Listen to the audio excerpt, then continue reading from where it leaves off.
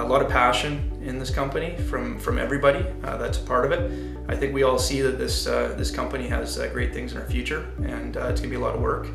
But uh, we're all very passionate about it and making it making it be a successful company. So uh, love love our solutions that we offer, and um, you know, just really excited about the future that we have as a, as a company.